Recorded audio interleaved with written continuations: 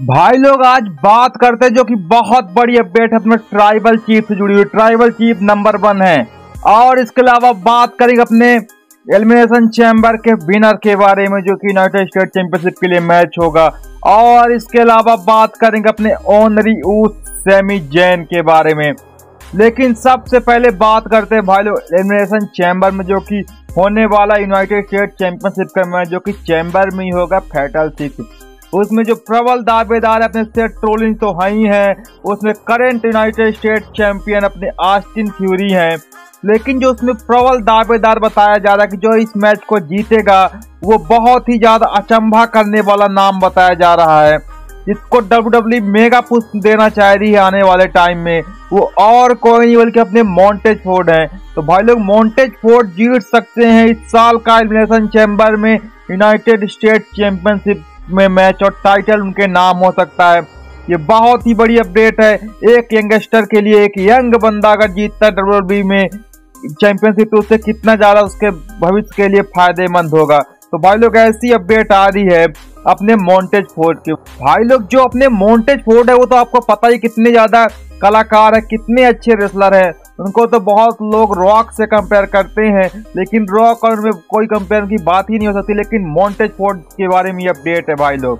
और अब बात करते हैं अपनी अगली खबर के बारे में, जो कि जुड़ी अपनी ओनरी उस सेमी जैन के बारे में। भाई लोग, सेमी जैन के बारे में अपडेट आ रही सेमी जैन आखिर करने क्या वाले हैं? इसके बारे में अपडेट आ रही सेमी जैन मेन इवेंट तो करेंगे चैम्बर में। वहाँ पे बताया जा रहा है कि डब्ल्यू डब्ल्यू उनकी ज़्यादा अच्छी परफॉर्मेंस देखती है। और क्राउड को उनको ज़बरदस्त सपोर्ट दिखता है। डब्ल्यू को फ़ायदा होता है व्यूवरशिप में और मैच में ऑनलाइन टीआरपी टीवी रेटिंग में। तो डब्ल्यू एक बार दोबारा से सोच सकती है असल मेनिया के लिए मैच के लिए, दोबारा से रिथिंकिंग कर सकती है। कोडी से रोमन के मैच में हो सकता है सैमी जैन को भी ऐड कर दे। तो भाई लोग, बहुत बड़ी अपडेट है अपने ओनरी यूज़ के बारे में और उनका एलिमिनेशन चैम्बर वाले मैच को लेकर के। अगर अपने ओनरी यूज़ एलिमिनेशन चैम्बर के मैच में ज़बरदस्त परफॉर्मेंस के साथ ज़बरदस्त क्राउड एंगेजमेंट होता है और डब्ल्यू डब्ल्यू को व्यूवरशिप में भी फ़ायदा होता है तो डब्ल्यू डब्ल्यू वाले hundred percent Cody Roman versus match में सेमी जैन को भी ऐड कर सकते हैं और ट्रिपल थ्रेट मैच बना सकते हैं मेनिया में। ये बहुत ही बड़ी अपडेट है अपने सेमी जैन के बारे में और सेमी जैन के फैंस के लिए। भाई लोग, ऐसी अपडेट अपने सेमी जैन के बारे में। और अब भाई लोग, बात करते हैं अपनी फाइनल खबर के बारे में, जो कि जुड़ी अपनी Head of the Table tribal chief के बारे में। भाई लोग, जो ट्राइबल चीफ है, जैसे नाम है, उनका ट्राइबल चीफ उसने काम भी, हर चीज़ में वो नंबर वन रहते हैं।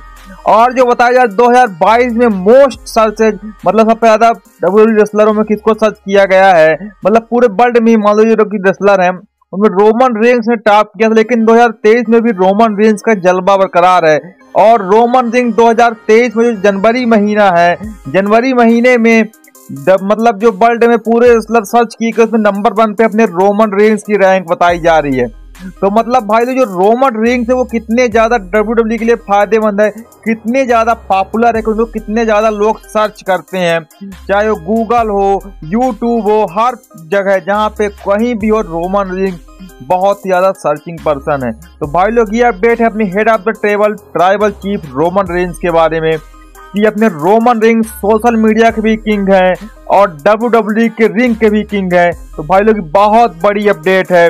अपने Head of the Table tribal chief के बारे में। तो भाई लोग, क्या आपको ट्राइबल चीफ के बारे में अपडेट सुनकर अच्छा लगा या आप अगर आपको अच्छा लगा हो तो आप मुझे कमेंट करके बताओ। और भाई लोग, आप मेरे वीडियो को लाइक करो शेयर करो और आप मेरे चैनल को सब्सक्राइब करो। थैंक यू भाई